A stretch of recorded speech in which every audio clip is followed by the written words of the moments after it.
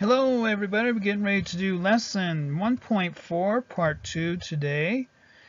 And 1.4 part 2 is comparing and ordering integers. You got 20 points on your class worksheet. 17 points will go into your notebook guide, have that out. Name, date, period, students, due date for onliners, home and let's go right into page 1 of 1.4 part 2. Opposites, and this goes in your notebook, opposites. Two numbers are opposites if they have the same absolute value but different signs. For example, negative 10 and 10 are opposites. The expression negative, uh, negative 10 can be read as the opposite of 10 or as negative 10. The expression negative a is read as the opposite of a. So define now, students, in your own words, positive integers and absolute value. Define these in your notebook, and I do notebook checks usually on Friday, so I expect to see these definitions there. And then opposites, uh, uh, define opposites in your own words, students. Define opposites.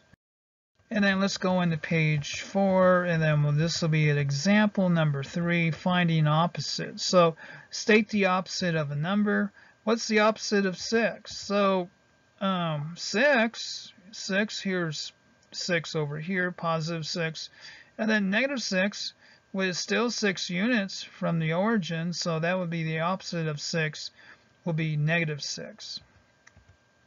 The opposite of six would be negative 6. Okay, everybody have that?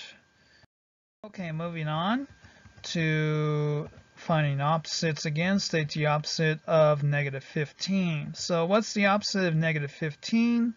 Negative 15 is 15 units to the left of the origin, or 0.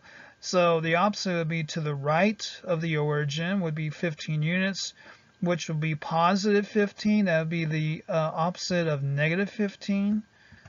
So the opposite of negative 15 would be 15. Okay, so let's go into a guided practice here. State the absolute value and the opposite of the number. So absolute value and then the opposite of negative 11. Same thing down here, students, this is yours. What's the absolute value of negative 1? And then what's the opposite of negative 1? So to show you how to do this, we're going to here now. So state the opposite value and the opposite of the number. So what's the absolute value of negative 11?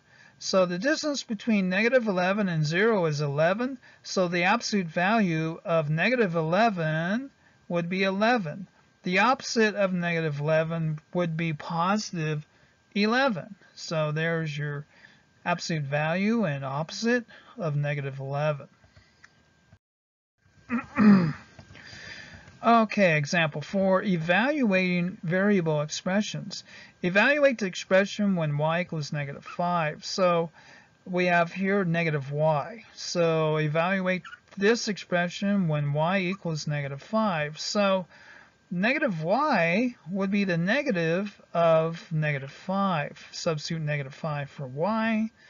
And so what's the negative of a negative? It would be positive 5. The opposite of negative 5 would be 5. So a negative sign is another way of saying the opposite of. So the opposite of negative 5 would just be positive 5.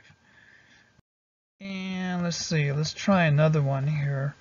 Evaluating. So evaluate evaluate the expression y equals negative 5. So 17 minus the absolute value of y. So how will we evaluate that? Our setup here would be 17 minus absolute value y equals 17 minus the absolute value of negative 5. So 17 minus, and then we have uh, the uh, minus the absolute value of negative 5 would, would just be 5, would it not? It would be. So the absolute value of negative 5 is 5. So 17 minus 5 would be 12. So that would be how you would evaluate this. Okay, our guided practice up here. Evaluate the expression when x equals negative 4. So when we plug in our x or negative 4 here for x, we would have the absolute value of negative 4 minus 1, right? Up here, down here, students, I'm going to let you do that one on your own. Let's do this one in practice. So Evaluate the expression when x equals negative 4. So absolute value of negative 4 minus 1. So when x equals negative 4, and then the absolute value minus 1 will be the absolute value of negative 4 minus 1 would be 4, which the absolute value of negative 4 would be 4 minus 1 would be 3. So that would be the evaluation of this expression here when x equals negative 4. And that is your 1.4 part 2 classwork lesson pre-algebra math animated PowerPoint math video at AOL.com for questions or course materials. Thank you very much.